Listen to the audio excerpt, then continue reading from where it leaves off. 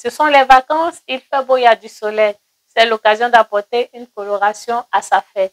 Et pourquoi pas réaliser une guirlande summer en anglais, été en français ou encore tropical.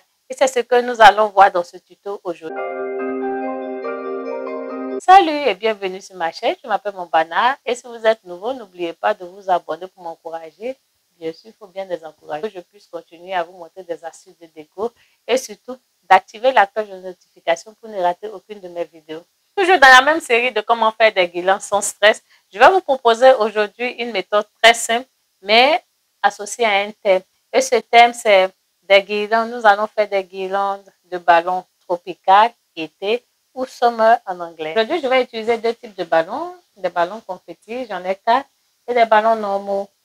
J'ai décidé de prendre trois couleurs, trois couleurs vraiment chaudes, du jaune, de, du rose et du vert. Pour plus de détails au niveau du nombre de ballons par couleur et par taille, regardez dans la barre de description. Ensuite, j'ai mon fil, mon fil de pêche natté, parce que je vais utiliser pour pouvoir faire ce DIY. Ensuite, j'ai décidé d'ajouter d'autres éléments que j'ai achetés dans les shops Poundland.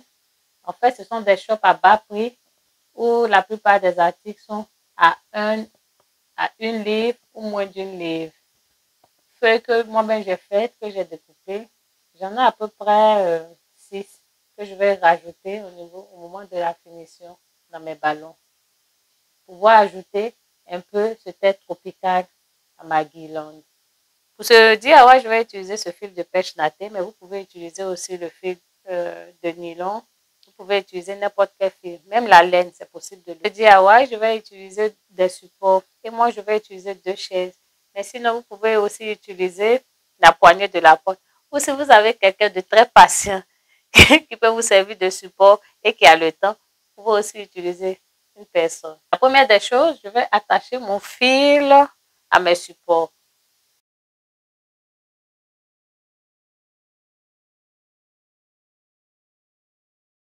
Je vais attacher mon fil à mon support. Donc là, j'attache mon fil à mon premier support, la chaise, la première chaise. Au niveau de la longueur, comme j'aime le dire, c'est au choix. Moi, j'ai décidé de faire une hache, donc euh, la longueur sera un tout petit peu plus grande que d'habitude.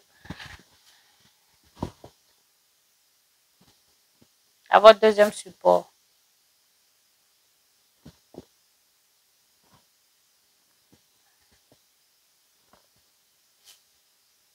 Pour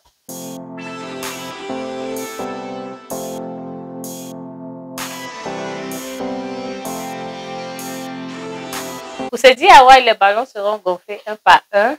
Donc aujourd'hui, je vais plutôt utiliser ma pompe. Et vraiment, ça prend du temps parce que je vais attacher les ballons un par un. Il faut vraiment avoir patience du temps. Mon premier ballon est gonflé, donc pour le nouer, comme vous pouvez le constater, j'utilise mes doigts l'attacher. Cette méthode est très facile, elle permet d'attacher rapidement les ballons. Et je vais le faire au fur et à mesure avec les autres ballons.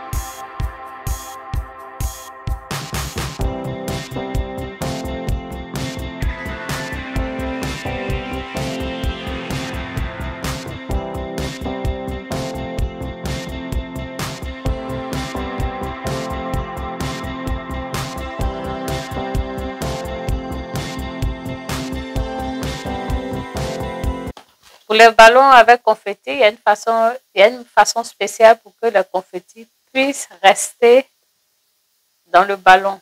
C'est-à-dire, vous prenez une serviette propre que vous passez autour, vous secouez Et vous passez autour. Comme ça. Voilà.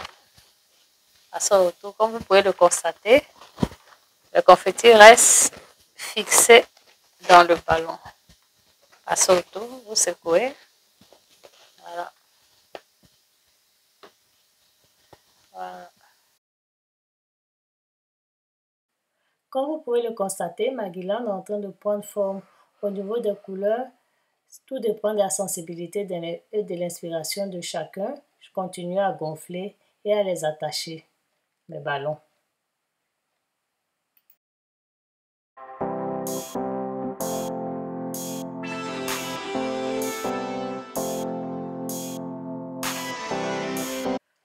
Tous mes ballons avec confetti, j'utilise la même méthode, c'est-à-dire je prends une serviette propre, je secoue et je nettoie.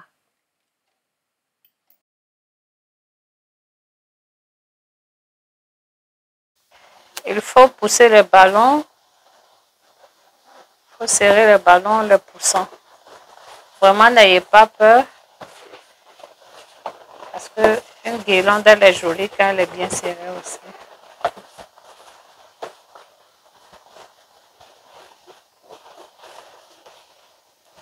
Pour aider à l'équilibre de ma guirlande, j'ai fait un contrepoids. Le contrepoids, c'est de l'eau qu'on met dans du ballon. J'en ai fait deux que je que j'attache à chaque extrémité de ma guirlande. Pour ne pas que ma vidéo soit longue, j'ai décidé de ne pas vous montrer comment on fait un contrepoids, mais je vais faire une vidéo où je vous montrerai comment faire un contrepoids. C'est quelque chose de très simple.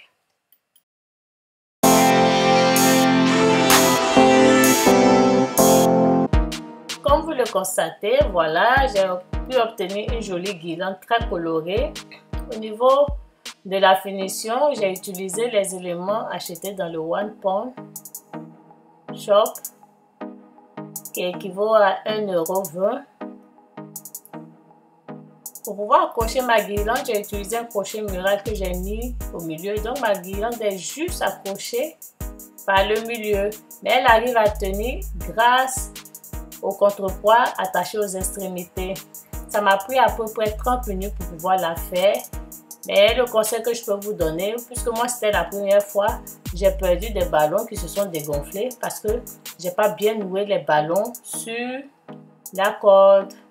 J'ai pris vraiment beaucoup de plaisir à faire cette guirlande là, qui peut inspirer pour un barbecue ou une fête d'été. Comme j'aime le dire, pas besoin d'être très manuel pour pouvoir sublimer sa fête. Si vous avez aimé, n'oubliez pas de liker, de commenter, de partager. Si vous avez aussi des astuces, mettez-les dans les commentaires. Surtout, continuez à m'encourager en vous abonnant. Merci et à la semaine prochaine. Au revoir.